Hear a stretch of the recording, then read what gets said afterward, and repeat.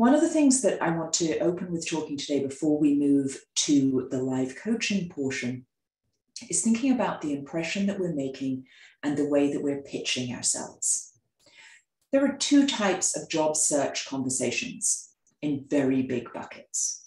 There's your recruitment conversation, someone who has the power to hire you, to influence a hiring outcome directly. Then there's the referral conversation, someone who has the power to get you to a recruitment conversation. These are both important. You probably have way more referral conversations than you do recruitment conversations. Wouldn't it be great if in this forum that is explicitly a job seekers forum, you used the chat as a referral conversation?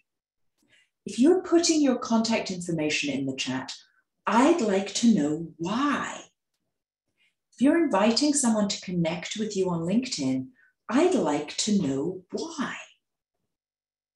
So, are you in a position to hire? Are you seeking referrals for certain positions? Are you trying to build bench strength for your organization? Those all being recruitment positionings. I'm looking for people. Are you looking for a job? What type of job and what is your differentiator?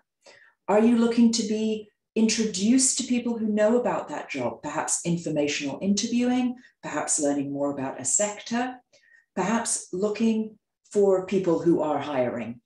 Put that in the chat. What else is going on for you?